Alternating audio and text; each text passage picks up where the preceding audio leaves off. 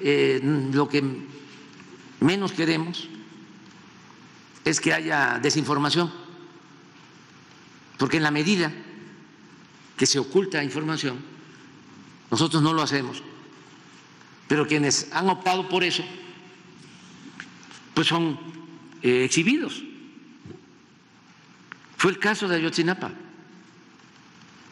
Si en su momento hubiesen dicho, esto fue lo que sucedió,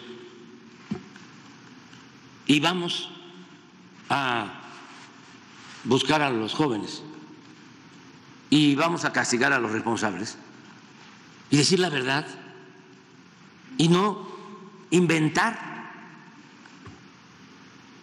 eh, algo que no sucedió, la llamada verdad histórica,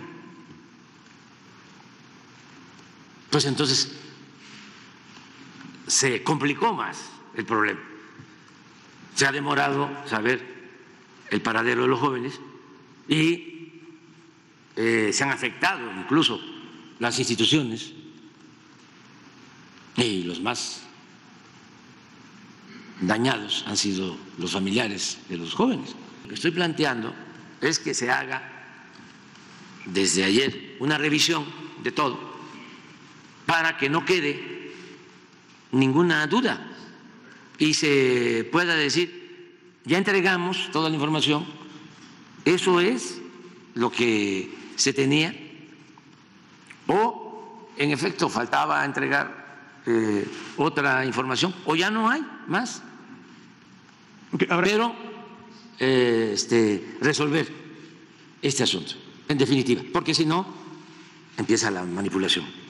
O sea, o se intensifica la manipulación. Y todo esto, pues no es nada más eh, un asunto social profundamente humanitario, es también, desgraciadamente, un asunto que utilizan nuestros adversarios para dañarlos o buscar dañarlos.